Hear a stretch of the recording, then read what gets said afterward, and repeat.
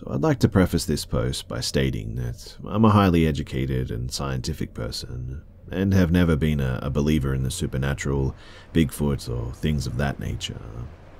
That being said, I really am at a loss for the things my family has encountered on my property over the last seven years, and would love to hear your suggestions. Seven years ago, my wife and I purchased a property and 11 acres of woods in a rural part of northeastern Minnesota.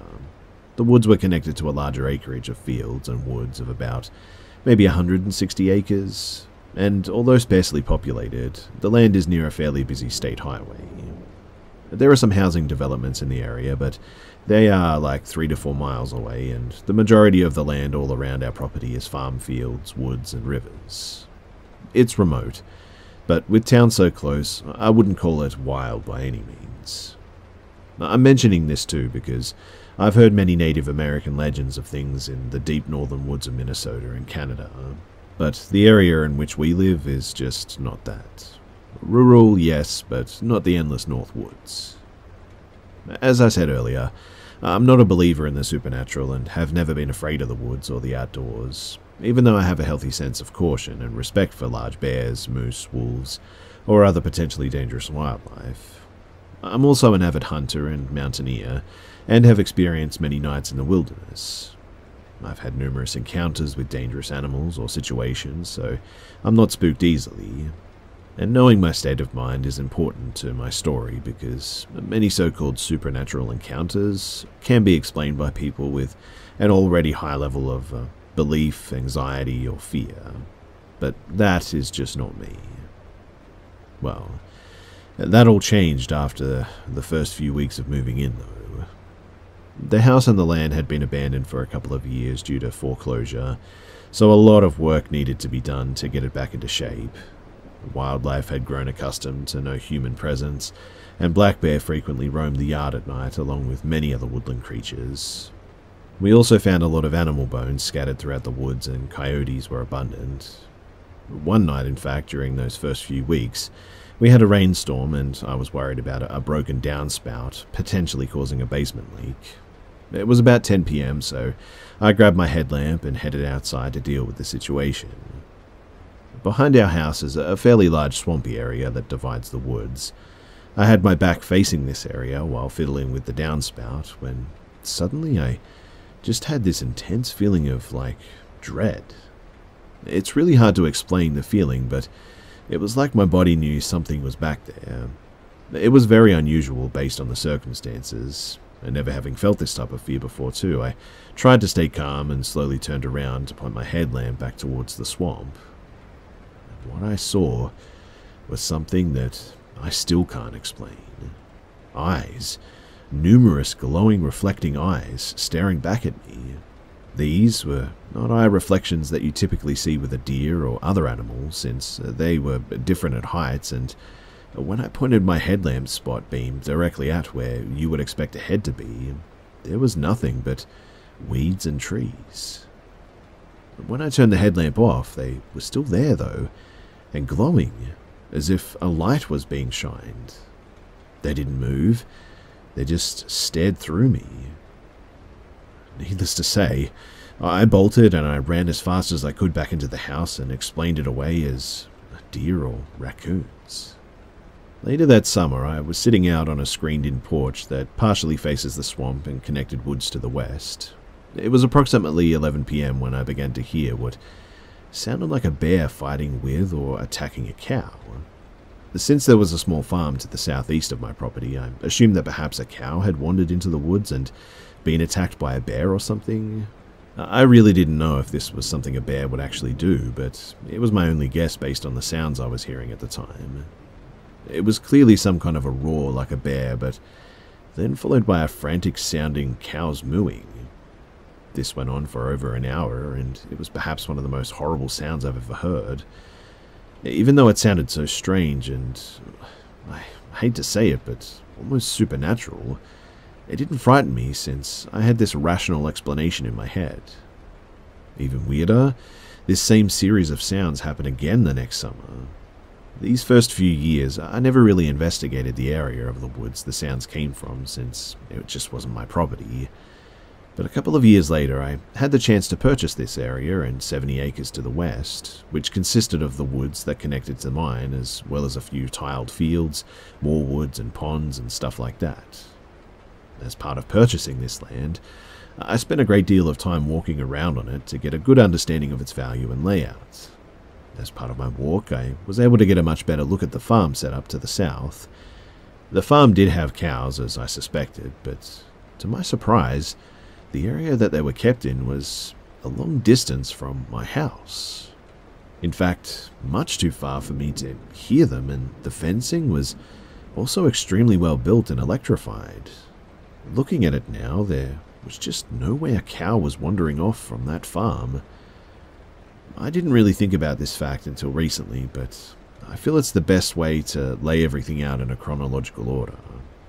You see, after acquiring the property, I proceeded to put up tree stands at the various locations along with trail cameras in order to prep for the upcoming deer hunting season. One spot was the hilly woods where I heard those sounds many years prior. Again, I didn't connect these two things until now, but the area was very odd as whenever I hiked through there, I always saw some new strange thing, I guess you could say. One time, my son and I found an old game snare tied to a tree with what looked to be dried blood on the bark. Another time, we found at least a hundred year old tree with a barbed wire fence completely spiraling the entire trunk, growing in it and out of it at different intervals. I've also found many tree trunks with very large scratches or claw marks, not resembling an antler rub. Maybe a bear, I guess? We'd almost always find dead animal bones in this area, and even this winter I found a couple of deer legs snapped and picked clean. My sons have found numerous animal skulls there as well. As I was saying, I put a game camera in this area too, since I'd seen tracks and signs and wanted to get a sense of the best places to hunt. I've placed one there many seasons, and to this day, I've yet to capture a single thing on it. Nothing. My son has posted there a couple of times for hunting season and has mentioned the strange sense of quiet that he gets there. He's used to the forest sounds coming back after sitting still for long periods of time, but in this spot, there are never any sounds. But what he has mentioned is hearing something walking around through there, though. Another incident occurred one hunting season when I was entering this area en route to another stand when I saw a violent thrashing in the foliage moving fast and crossing from right to left but moving away from my position. I, of course, encounter deer and bear all the time, so I'm familiar with how they move when spooked, but this. this was something different. Whatever this thing was made a, a high pitched trumpeting combined with bellowing sound that was like nothing I'd ever heard from an animal outside of a, maybe an elk, which we don't have in this area. It wasn't bounding, and there wasn't the raised white tail or large dark mass to indicate a deer or a bear, there really didn't appear to be a body at all, in fact. Just whipping and falling leaves and branches, uh, along with the deafening sounds. A year after this incident, too, my son went out hiking in the woods to try and find me since I was out doing some forest management. As he walked through this area, he thought that he spotted me coming through the woods fast, but quickly noticed the walk and the clothing were nothing like mine. Whoever it was also was a lot taller than me and he described him as extremely thin. He said the person that he saw did not notice him at all and seemed to be walking in a straight line like they had a tunnel vision or something. Seeing someone in this part of the woods in their direction of travel really didn't make much sense at all, too, since there really would be no reason to be there or to be headed that way, as it leads to deep ravines and an uncrossable river. After he found me, though, and explained what he saw, I quickly went over to investigate to see if we had a trespasser. I hiked for quite a while, but I never found anything or anyone. If someone was there, they either got picked up on the road or they completely vanished. That same year, my son had a friend over too, and they went for a late afternoon walk in the woods at one point. As it began to get dark, they made their way back by walking on the edge of the field that is next to this area of the woods. As they passed by, they said that they saw a figure a little ways off in the trees. But whatever they saw was near one of the hills in this patch of forest and seemed to be making some kind of a hand gesture. It began walking slowly towards them when they called out hey and hello. He or it stopped still and said nothing. It was at this point that the boys sensed something just wasn't right, and they bolted back towards the house. They rushed into the house and told me what they saw, and I, of course, laughed it off as their mind playing tricks on them. My son described the figure as very tall, like 10 to 15 feet, but with skinny arms, and his body was dark all over. And not hairy per se, but dark. They even thought that it was an animal at first because of the weird way it looked. He couldn't really describe it very well, other than gaunt or skinny and strangely dark. Me being the curious and protective father I am, was worried about it being trespassers, drug addicts, or both, so I told them that I would go and take a look. They brought me to the area and pointed to where it was standing, and I headed into the woods. Since it was winter and there was snow on the ground, I thought that it would be easy to locate the tracks of whatever this was and find out where it came from or went. But when I got to the spot, though, there wasn't a, a single track or disturbance in the snow. What I mean is that there was no way that an animal or a man could have been in that area and not left tracks. Which means that They'd either made it up or their minds had played tricks on them. Or so I thought. But to this day, my son and his friends still swear that they saw it, clear as day, and I can definitely attest that their fright was real. My wife also has experienced strange thrashing sounds and other feelings of dread or being watched in those parts of the woods and generally just refuses to go over there anymore. And all of this brings me to today where I had a sudden realization that all of the strange sounds, sightings, bones, and events seem to be centered around this area, and I'm just at a complete loss to what it all means. It's still too strange to really bring this up and discuss it with people that I know anyway, but I wanted to share my story and see if anyone in this particular community might have any theories or ideas on what we might be dealing with here. I'll continue to investigate on my end, but would love to see what all of you guys think. Anyway, thanks for listening and for any insight that you might be able to share.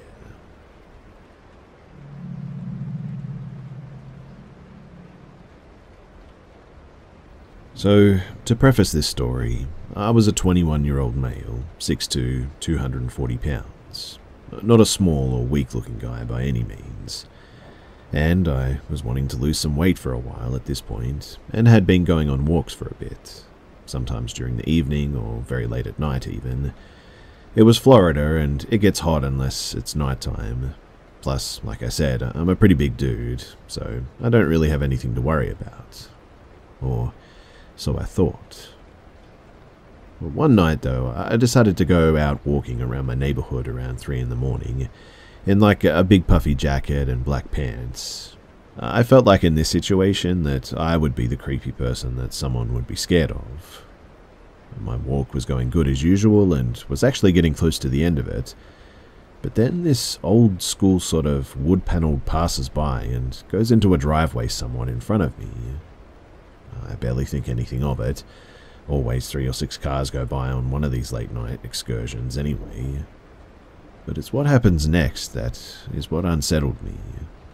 This van pulls back out of the driveway with its lights off. After I pass by the driveway, mind you. Luckily, I wasn't listening to any music, or else I probably wouldn't have heard it. The van then proceeds to pull out and drive towards me, and stops right in front of me. At this point, I know that I don't want to end up like some kind of horror movie character, so I book it in the opposite direction. I go down an off branching street and keep going down these random streets to give me as much time as possible. I end up hiding in some random bushes in someone's yard and stay there for a little bit. I wanted to text my mum, but I was scared and didn't want the light from my phone to give me away. So I watch for any sign of them. Nothing for five minutes. Just as you think the coast is clear, there they are again. I hear a car coming down the street, and it's those same guys, but with their lights on this time.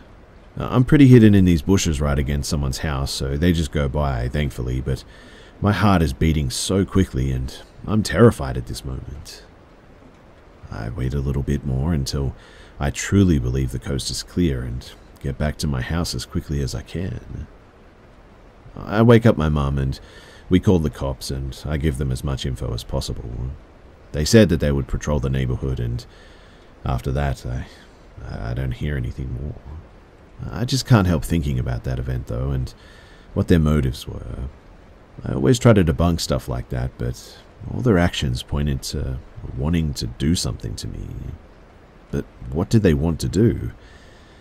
I'm not a pretty young lady by any means. I'm pretty large, actually, menacing sort of looking. My neighborhood is not even nice enough to rob. Very just sort of like middle class, I would guess. And I mean, what am I going to have on me while walking at like 2 a.m.? So I just can't help but think that maybe they didn't want to kidnap me or mug me, but maybe. maybe they wanted to kill me. It freaks me out to this day.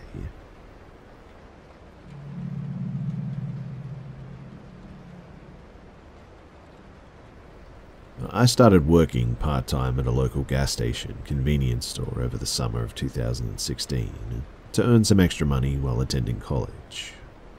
When I was hired, I was informed that female employees were never scheduled to work overnight shifts, for obvious safety reasons, which I was relieved to hear. I wasn't so much worried about my safety, but I was concerned about getting enough sleep before classes. It wasn't long before I found myself dreading the days that I had to work, though, as the job turned out to be much more difficult than I had anticipated. We were always short staffed, which forced us to constantly multitask between running cash registers, preparing food, keeping eyes on pumps, cleaning, stocking, etc. But to make matters worse, the two women who managed the place were awful in every way, and I frequently found myself biting my tongue and talking myself out of quitting. I was especially on edge when they cut our 15 minute break down to 10 minutes, as I never seemed to have enough time to use the restroom and smoke a cigarette fast enough. But it wasn't until several annoying encounters with a regular, James, that I finally started to break. James was younger than me, maybe late teens or early 20s, and he thought that he owned the place, Perhaps being the grandson of one of the managers gave him a sense of entitlement to mess with people there. But the first time that I met James, he approached the counter to purchase some chewing tobacco. As I was ringing him up, I asked to see his ID, and he told me who he was related to. But I politely asked again to see his ID because I was new. Another employee overheard our conversation and assured me that he was old enough, so I went ahead and rang him up. Staring at me intently the whole time, he looked down at my name tag and said, Mindy, that's a pretty name. I thanked him for the compliment and gave him his dip, but he continued talking to me and asking several personal questions. He wanted to know where I lived, what my last name was, whether or not I had a boyfriend, etc. Meanwhile, a long line had formed behind him, and not trying to be rude, I said something like, Sorry, there's a line behind you, and I casually mentioned for the next customer to move up. But James didn't leave. He simply stepped to the side and continued talking to me and watching me as I rang each customer up.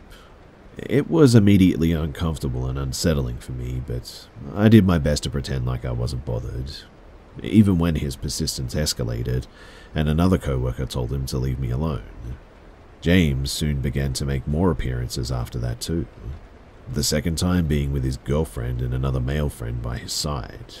Yeah, he had a girlfriend, and I was really confused when he started flirting with me again, this time right in front of her, but oddly enough, she didn't say a word.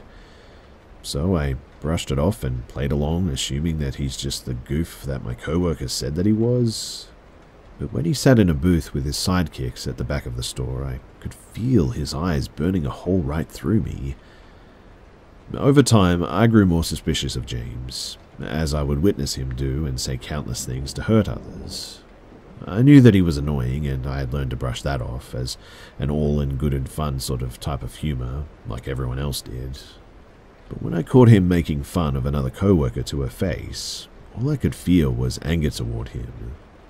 I removed her from the situation by taking her place at the register, as I could tell that she was very hurt and embarrassed by his comments, and by doing so, it was apparent to James that I didn't approve. He would continue to cruelly harass this poor girl, and even some of the customers who came in, but trying to make him stop was like scolding a child. I didn't lash out at him, though. At this point, I just began to ignore him. James then started playing these head games with me while I was working. He would take soda and candy, walk outside without paying for it, and then come back into the store and say that I forgot to ring it up uh, loud enough for everyone to hear. One night, he even filled up his gas tank and took off without paying for it, before returning to say that he forgot to pay. He knew that he'd always get away with it because Granny was the manager, by this point, it wouldn't have surprised me if he really was stealing gas and food from the store, though. There was just something very dark and strange lurking behind his goofball facade, and I avoided him like the plague, though it was nearly impossible to do at times. But then, one day, while I was working alone with another co-worker, we were very busy with tasks as usual, when, lo and behold, James walked in by himself, Uh, I muttered under my breath, pain in the butt, and I walked straight back into the freezer to finish what I was working on earlier. But then he followed me inside the freezer. To be honest, too, I really didn't know that he was there until he walked up right behind me and asked why I didn't greet him anymore. Startled, I sort of jumped and quickly turned around, grabbing my chest and asking him what the heck he was doing back here. He laughed as I told him I was busy and reminded him that only employees could be in this area. He ignored everything that I said and instead proceeded to ask me personal questions, just like he did the first day that I met him. You never told me where you live, he said. I'm curious about you and I just want to know. Tell me where you live. He was moving closer and closer toward me, literally backing me into the corner of the freezer. Are you afraid of me, Mindy? he asked. I tried to push past him, telling him to move, but he kept stepping in front of me to block my way out. Not until you answer me, he said. Uh, I started calling out for my coworker who showed up and gave him a, a heck of a talking to for being in the freezer. I was finally able to push past James, and I made my way to the front counter where I looked at the clock and saw that it was time for me to go home. I gathered my things and punched out as quickly as I could, but James followed me out of the parking lot. I swiftly got into my car, but James managed to grab the top of the door before I was able to shut it. Come on, just let me see your ID, he persisted. I repeatedly told him no before I found myself practically begging for him to let go of my door so that I could go home. Then he grinned at me and said, Don't make me follow you, Mindy. Chills ran down my spine at that point. Knowing how bold of a person he was, and considering the fact that he literally just cornered me in the freezer only minutes ago, I highly expected him to follow through with that. Threatened by visions of what my drive home might look like, I became angry at this point. I looked at him dead on before shouting, Let go of my door and stay away from me. I then grabbed the door handle and ripped the door shut as hard as I could. He tried yanking on the door handle from the outside to open it, but luckily uh, I locked the door just in time. He then continued to knock on my window asking to see my ID, but I started my car and backed away from him. I turned the wheels and hightailed it out of there, while he just stood and watched me speed off. I was never so glad to finally get away from him, but I was paranoid the whole way home, thinking that he could possibly catch up to me on the road, even though I, I never saw his vehicle behind me. I would end up quitting the job after this, and I didn't care that my hiring manager was angry about it. I had enough of everything, and dealing with James was the last straw. I didn't bother explaining anything to my manager because it was apparent to me that James was probably never held accountable for anything that he ever did wrong in his life, and he likely never would be. I never saw him again after that, and I hope I never do either.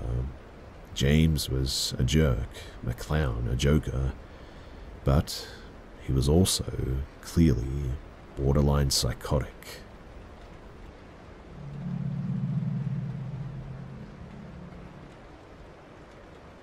Recently, I had to make a quick run to Walmart after work for a few smaller items that I'd forgotten the day before.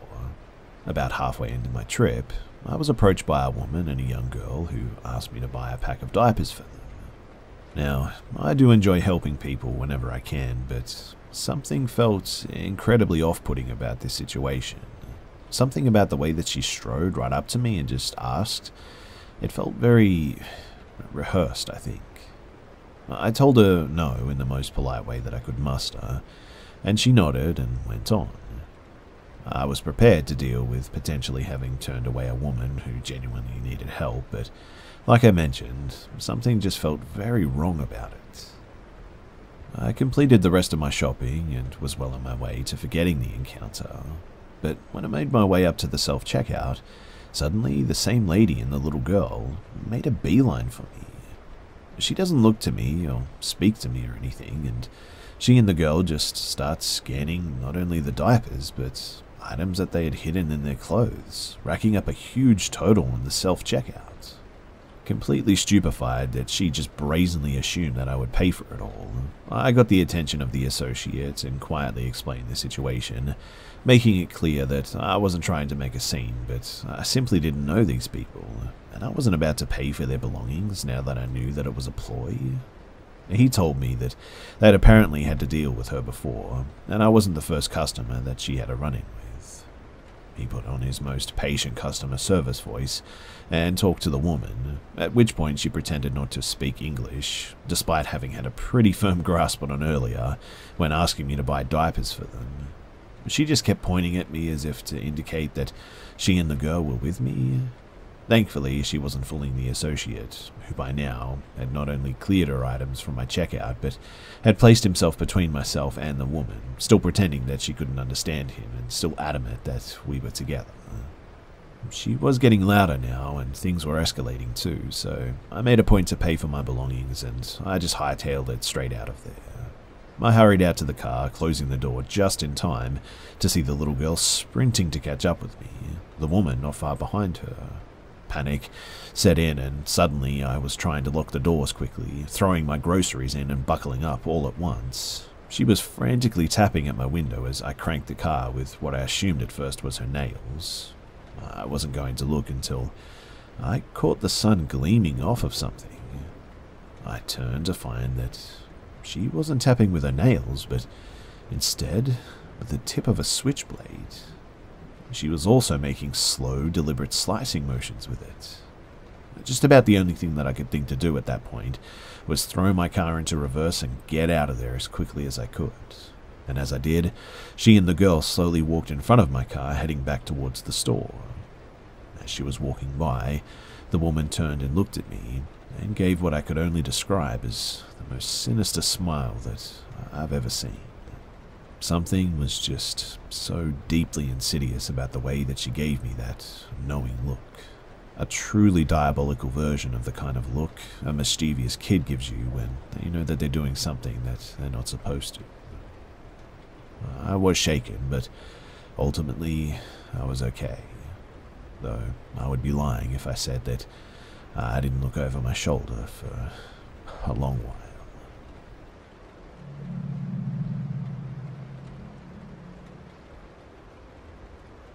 So it was a summer night. I was around eight or nine years old. A group of six kids, uh, we were playing manhunt, kind of like hide and seek, I guess, in our neighborhood. The street that we played on was a dead end with a baseball field at the end. The field was undergoing construction at the time, so there were sort of big construction vehicles parked and big mounds of dirt and stuff like that around. We were hiding and attempting to cross the field without getting caught by the opposing team. As we made our way across the field, a white truck flashed its lights at us. We were startled because we didn't think that there was anyone in the truck, and one of my friends started to run. I froze up and noticed two old men in the truck. The driver laughed at us as he rolled down the window and said, It's too late for little girls to be out alone like this.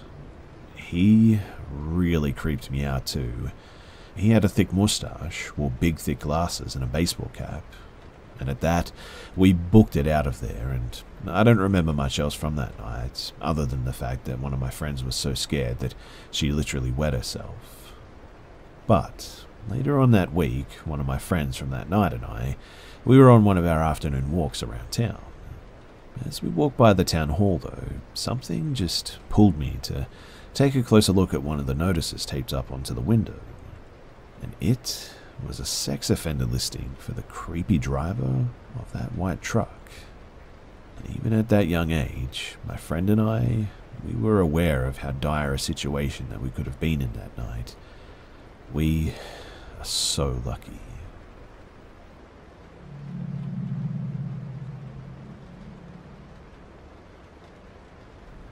I still think about this encounter even as an adult because it was a weird one. So when I was about 10, I'm 25 now, I was downstairs watching TV late at night with my mum and sisters. Everyone decided to head off to bed and I was left alone downstairs just watching TV. I started drifting off at some point, and all of a sudden, someone started banging on our door really hard. I'm talking let me in hard. I was so scared that I just sort of sat there frozen, staring at the door like my life depended on it. My dog was laying right next to me and also just stared. He never barked or moved an inch, which was odd too because he always barked at the door. The banging never stopped for what seemed like a solid five minutes, but it was probably more like maybe a minute when I think back on it. In any case, I looked at my dog, and I think because I finally moved, my dog snapped out of his trance, looked back at me for a split second, and jumped up and ran towards the door. He still didn't bark, but instead started turning his head like he was confused. I finally got the courage to get up and open the blinds to see what was going on. And this young woman, maybe around 20, 25, was standing there holding her left breast in her hand. It was still attached to her, but she was pretty large breasted and she was holding it, trying to keep them up from sagging, I'm guessing. I don't know. Like I said, it was weird. But she had blonde hair, white skin, and was just covered in blood. Her shirt was ripped and her hair was a mess. I remember thinking that she may have gotten beat up or was in a car crash or something. Either way, I immediately went to go and open the door. But as soon as I went to unlock it, my mum, out of nowhere, slammed her hand on the door and relocked it. I had no idea that she'd even come downstairs at this point, let alone walked up behind me. I was so focused on the door and on this woman, I think, that when she slammed her hand, it was almost as if it knocked me back into reality. Reality of not opening the door for strangers in the middle of the night. I looked up at her and I could feel my eyes were wide and I think I even started crying. She put her hand on my shoulder, though, and moved me away from the door. She yelled, Who is it? through the door, and the girl yelled back that her boyfriend had beat her up and that they lived in the apartment across the street from us. Mind you, we lived in a townhouse in a cul de sac. Our unit was all the way in the back where you would start the turn. What I mean is that we were the first unit in the row, but where she pointed out her and her boyfriend's place was at was quite a ways away from us. Anyway, my mum asked her her name, and she said something that sounded like something Annie. Maybe Bethany or Stephanie or something. I saw my mum hesitate to open the door, but after she yelled, Please help me, my mum opened the door, stepped out, and pulled it close to being shut, but not completely shut. I cracked the door behind her to make sure that she was okay and also see what was going on. The woman, that I guess we'll call Bethany from now on, kept thanking my mum and asking to come in because she was scared that her boyfriend was going to come after her. My mum refused and explained that she couldn't let her in because of the safety of her four kids, but said that she would sit out with her. My mum then yelled at me to grab the phone and call the police, so I did. My mum started asking her what happened and what specific unit that she lived in. She pointed towards her specific one and told my mum the building number and her unit, whatever it was. When this silver SUV pulled up a little later and she ran towards it yelling, That's my sister, and then just jumped in. The car sped off without another word from her, or even a single word from the sister. My mum looked back at me, confused, and came back inside and shut and locked the door. We just sort of stood there and I think we just sort of looked at each other for a bit. I asked my mum eventually what about the police, and she said that she would wait for them downstairs if I wanted to go to bed. I was too scared to leave her though, so I ended up just waiting with her. Once they arrived, my mum explained what happened, and the officer said that she did the right thing, not letting her inside. Weird thing though is that, like I said, my dog never barked once. Until the cops knocked on the door, that is. They also explained that they've been receiving similar calls like that in the area recently, so this was not the only event like this. Even worse, though, the next morning we all packed up to go to the grocery store, and as we passed that building, you could definitely tell that that apartment that she allegedly lived in was completely empty. Like no one had been living in it. Maybe they just didn't have any furniture or anything, but I don't know. It was definitely fishy. Whatever happened that night, the alleged boyfriend never came after her that night, and we never saw her or the SUV ever again either. I hope that she is okay if it was real, but also, if it's not, well, don't ever knock on my door again, that's for sure.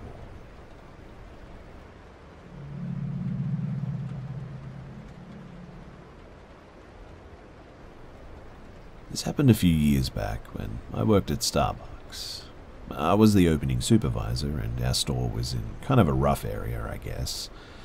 I always tried to arrive a little early, and this day was no different.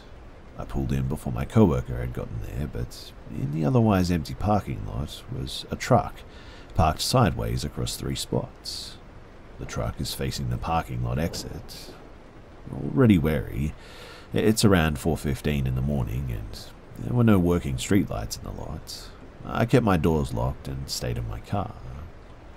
Not a minute later, a man gets out of the truck and walks up to my car, knocks on my window.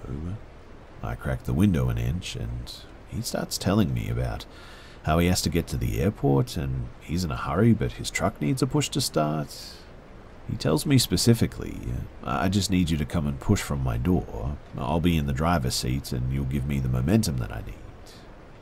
I don't know anything about cars, but that set off alarms in my head. Not to mention if his car is having trouble, our airport was like really far away and only accessible by freeways. Not an easy trip for a struggling vehicle by any means. I tell him that I'll be happy to push the truck from behind once my coworker arrives, but I refuse to do that before then. And with that, he immediately blows up. He screams and calls me all sorts of names and then just storms off back to his truck. He starts the truck up and speeds out of the parking lot. I never had anything come of it, but I'm still pretty sure that I foiled some sort of malicious plan from that guy. I'm grateful that I'm enough of a morning person to be thinking clearly that early because if I hadn't been, I don't know what would have happened.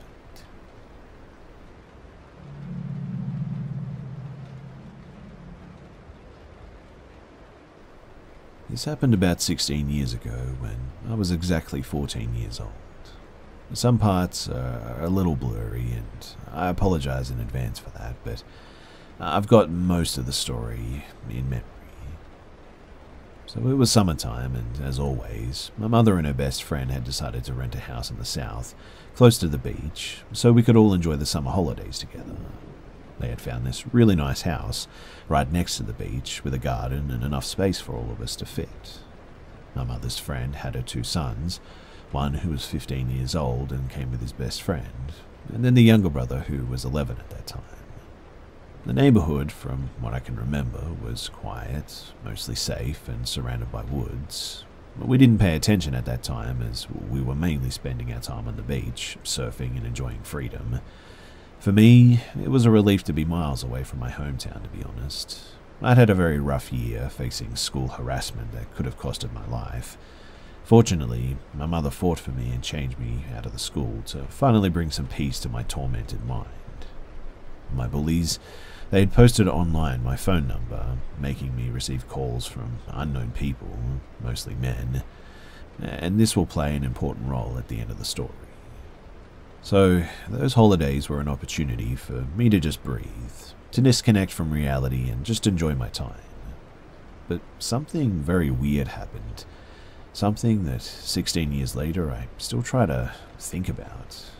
What would have happened to me if I had done this? You see, it started one afternoon. My phone buzzed with a text message. I thought at first it was my best friend telling me about her holidays. But we were all relaxing before going out to the restaurant later. I was sitting on the couch and playing Mario Kart with the boys, but the message was from an unknown number and said the following Oh, honey, my heart only beats for you. I only think about you every day and every night. To be honest, at first, I thought it was just a wrong number. I simply replied with a polite message stating that it's probably a wrong number. As no one replied back, too, I just let it go and kept playing on my Mario Kart session with my 11 year old friends. Around 5:50 p.m., I'd say, while everybody was getting ready for the restaurant, I received another text message that really intrigued me. It said, At 6 p.m., go out of your house alone and follow the arrows made out of sand. I'll wait for you at the end. I was now extremely confused, and I didn't know what to do, to be honest. I replied and asked who was sending me these messages, but again, no reply. At 6 p.m., though, I walked out of the house just to take a peek out of the gate and see if there were actually really any sandy arrows, and yeah, they were there. Now, thinking back about this event, I realized that I was really reckless with what I did next. But as a 14 year old teenager, hopelessly romantic and dreaming of having a very summer love experience, I thought that I would let my curiosity win this time. Now that I think about it too, all this time I thought that it was the 15 year old brother and his best friend who wanted to make a joke about me or something. But the whole afternoon they were there with us, so I have no clue who may have done this to be honest. In any case, though, I walked a bit out of the house and tried to follow the arrows that were leading straight into the woods. My intuition made me stop immediately at that. My gut was begging me not to go any further in the woods alone. So I turned around and I walked back to the house and never told anyone about this story. I simply received a text saying, I'm waiting for you, darling, and that was it. But here's where the story gets a little creepy. You see, a few months later, I found out that where we rented the house, a man was being searched for, mostly because he was trying to get in contact with teenagers, and apparently was trying to drag them into the woods for, well, evil intentions. I still don't know if this is all linked to my own story or if it was maybe just a coincidence. Would he have found my phone number on one of those websites that my bullies had given? No clue, but I changed my phone number when I started my scholarship at my new school, and I never got harassed again, thankfully. Like I said, though, I still think back about all of that, and I wonder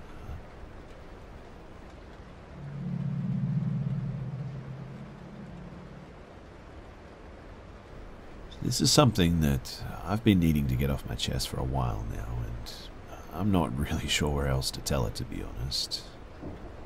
So, a few years back, after my junior year of high school, I was working a summer job making enough money where I could support myself for a few days if need be. At the time, my parents decided that they wanted to take a trip to the beach for their anniversary, leaving me home by myself for a week, which was fine by me. And well, the time came and they left, leaving me and my dog to fend for ourselves. I should add context saying that it wasn't uncommon to hear footsteps or things moving on their own, as I've lived next to a graveyard all my life, and I just sort of took it as uh, that's how things were, really.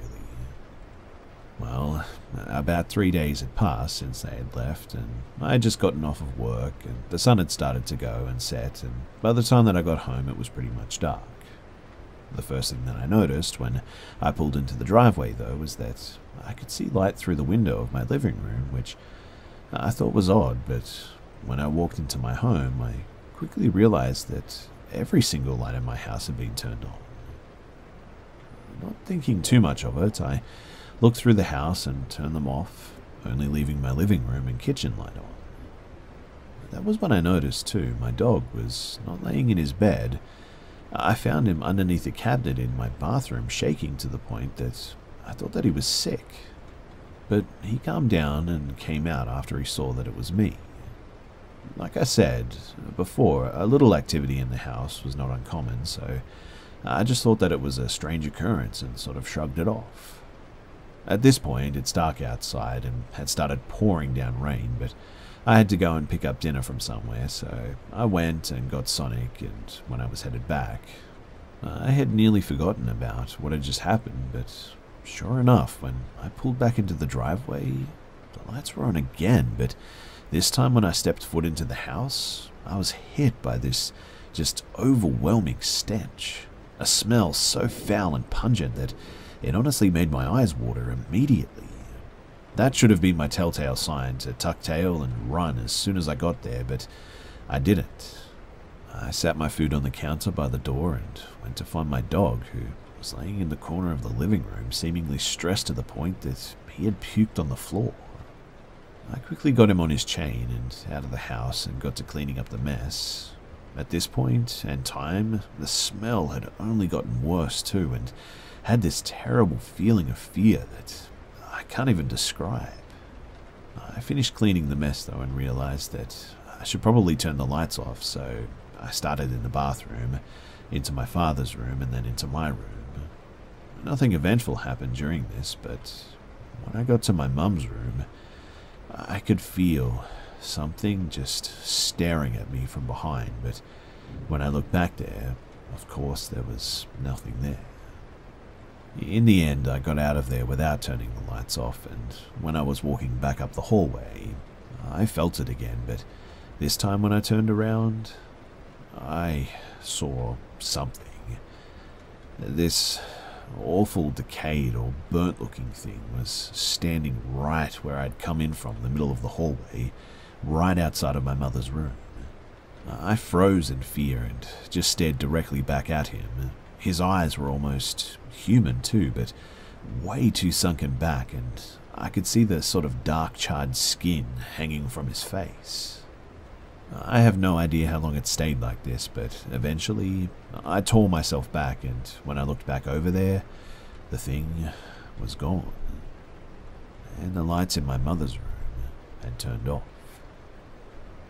I remember just sitting on the floor after that in tears, just staring at the spot where this thing was. I must have sat there for about 10 minutes at least before finally getting my nerve together and sprinting out of my house, grabbing my dog and just staying in my truck the entire night. By the time that we had went back in, the sun had come back up and things seemed to be back to normal. I never really mentioned this to anyone, and I probably wouldn't have, but I saw it again yesterday at a quick glance while doing the dishes. It was standing just a few meters away from me behind the table, but it was gone as soon as I blinked. From everything that I've researched, too, this sounds demonic, and the activity in the house has increasingly picked up since that day. If you're listening to this and have some sort of knowledge about the paranormal or demonic, then please do let me know if this sounds like that. Also, if you have any advice on what I can do to get rid of it, that would be much appreciated.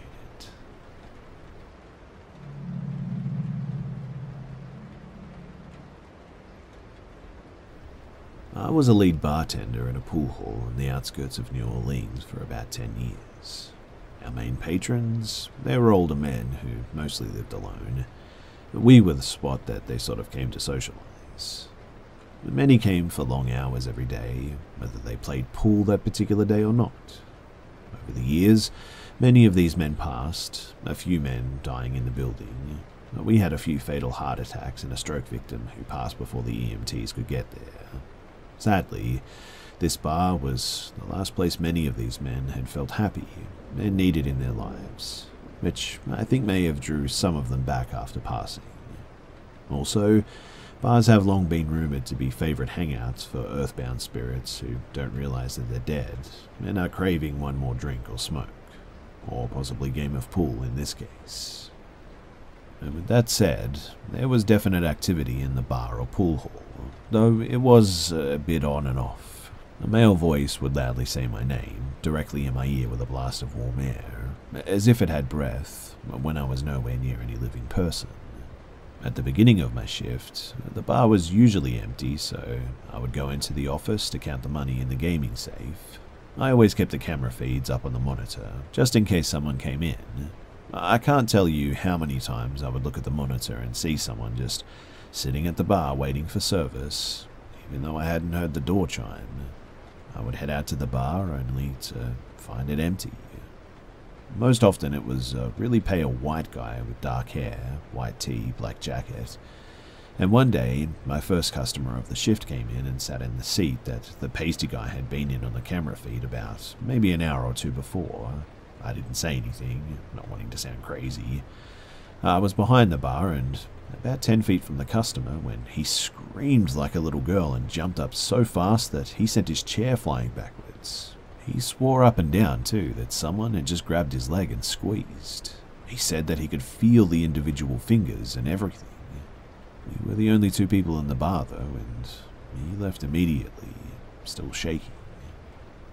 I saw people in my peripheral that weren't there too when I turned towards them. Many times I would be serving drinks and call out, I'll be right with you as soon as I finish here, before turning to see no one. Thought it might just be me seeing things, but it literally never happened anywhere else except at work. And several times customers remarked that they could have sworn that they had seen someone who had just been standing there as well. Now, to get behind the bar, you had to go to the end farthest from the entrance, where a section of the bar lifted up like a door. To the right was where the bartending happened, but to the left was a hallway that had the office and rooms with the safers, extra liquor bottles, stuff like that. Basically, everything down that hallway had a lot of value, and the bartenders were expected to make sure that no one came behind the bar or gained access to the hallway. But I always saw people walking back there. Not from my peripheral either. These people looked very solid and real. I could easily describe their skin and hair color, even. Outfits, the whole shebang. I would go running back there, check all of the three rooms down the hallway, panicking, and eventually not find a soul, even though the only way out would have been to pass me. Let me just say, too, that this happened all the time, whether I was slow or busy. It actually seemed to happen more when the bar was packed, in fact. My regulars were very familiar with this routine too and teased me about it unmercifully. However, word of this did cause my co-workers to begin sharing their own experiences with me, so uh, I was able to get some confirmation, at, at least that I wasn't going crazy. The activity, which had always been intermittent too, got really intense for almost two months at one point. And then, everything just sort of stopped. For months. The guy who got his leg grabbed and a few other regulars who had witnessed some things commented on it too. So did my co-workers. And no more chasing shadows or disappearing customers. To be honest, it was sort of great, really. A few months after the activity stopped at the bar, though, I'm taking a shower at home. It's a stand up shower, no tub. I noticed that the far right corner of my shower seemed very dim, though. I peeked my head out to make sure that none of the other three bathroom bulbs had burned out or something. They were all shining away, and I just sort of shrugged it off even though I definitely had a slightly unsettling feeling. It was nothing major, though, and I just continued for several weeks like this. Although not every day it would happen, and the feeling of unease grew. It wasn't always dim over there, but when it was, I swear that I could feel it before even looking. The shower is my happy place, and I hated this newfound creepiness invading it. I tried to think of every possible explanation, too. Seasonal changing of the angle of sunlight, weather or cloud conditions, my mental state. I mean, you name it, I thought of it. However, I had lived there for over five years at this point and had never seen anything remotely like this. I have one tiny bathroom window with thickly frosted glass and a screen, so it's never really affected the lighting in the bathroom in any way, and it's angled away from the shower anyway, so how the heck was this happening? Weirdly, too, as time went on, the dimness grew more pronounced. It now looked more like a diffused, shadowy mist than a dim spot. The feeling of unease, it began to change too. I started feeling like something was watching me while I showered. I found myself refusing to close my eyes or turn around when showering and seriously considered how long I could go between showers before it became, well, noticeable. I had been trying to convince myself that it was all some kind of stress induced, psychosomatic weird thing that my brain was doing, or a strange type of vision anomaly or something, but I was completely unsuccessful. I finally accepted that there was actually something there watching me at my most vulnerable point, and enough was enough. Uh, I contacted a friend and told him a little bit about what I'd felt, and expressed my desire to do a house cleansing. I didn't want to do it alone, and he agreed to come over in two days. Feeling better about the whole situation now, I had a slightly smug air as I started my shower that night. Lo and behold, there was no darkness, no shadows, no weird feelings. It was great too. Uh, maybe, maybe I had been tripping after all, so to speak. I'm under the water though, with my eyes closed, enjoying the heck out of my bright, peaceful shower, when a shock of alarm just jolted through me. It felt like someone was standing right there in front of me and staring at me hard. When I opened my eyes, the shadow, it was there and looked different than ever before. It was much darker, there was clearly visible sort of oval egg-shaped center of deeper darkness in the middle of the shadows, although I could still see through it. The top of it was slightly lower than my upper chest. I'm just under five foot, and it didn't have hard edges at all, just kind of diffused out to lighter shadow, if that makes sense. The oval was roughly three feet from top to bottom and about a foot and a half wide, and I just stood frozen, staring at it for a few seconds. It was like my brain was having trouble processing what I was seeing. Then my brain started working again, and I jumped out of the shower, stark naked and half rinsed, ran through the house, dripping shampoo and water everywhere, yelling, What the heck, over and over. I'll admit that it's pretty hilarious to picture it now, but at the time, I was scared out of my mind. I skipped my shower the next day, obviously, and when my friend arrived the day after, I frantically filled him in on what had happened the night that we agreed to do the cleansing, although I did leave out the part about running around naked and yelling. He had this little smirk on his face, so I asked him if he believed me. Oh, I believe you. I believe that you saw something. Slightly patronizing, but understandable given the situation, I guess. Besides, I thought having a skeptic on hand could be a, a good thing, maybe. So I started burning herbs on charcoal and calling in protection. We began in the living room, and as soon as I called for protection, my friend jumped and gasped, eyes popping out of his face. He took a few steps back and sat on the couch. He was very pale all of a sudden and had his ankles tightly crossed and his hands clasped firmly in his lap, elbows tucked in, sitting very straight. Although he didn't know this, he had automatically assumed a pose recommended to close off your energy or aura, for those of you who know about that. The poor guy, though, just looked horrified. He claimed that as soon as I called out for protection, a bone chilling blast of frigid air went straight through his entire body. I was standing right in front of him at the time, and he was amazed that I didn't feel anything. He was completely freaked out, though, and I convinced him that finishing the cleansing was important after experiencing something like that. So he bravely got up and he began helping me cleanse my place. After we were through, I decided to let the herbs finish burning out in the shower. When I went to the shower, which we had just spent a lot of time in, smoking it out with herbs, there was a single black fat fly laying dead on its back right in the corner that the shadow liked to hang out we were both absolutely certain that it wasn't there a few minutes before. While I realized that flies get into houses, obviously, the timing and the placement was really freaky. Like, we had just seen this and then it was there. I've been here seven or eight years now, too, and that was the first, last, and only time that I've ever found one of those big black corpse flies in my apartment like that, too. Thankfully, I haven't had any issues with shadows in my shower since. To this day, my friend gets noticeably freaked out when I bring up the cleansing, so I like to do it when we're drinking, and his expressions are even funnier than usual. But I don't think it was a shadow person, or a demon, or anything like that. I think it was a ghost without the energy to fully manifest, but who still liked to peep on 20 something females while they were showering.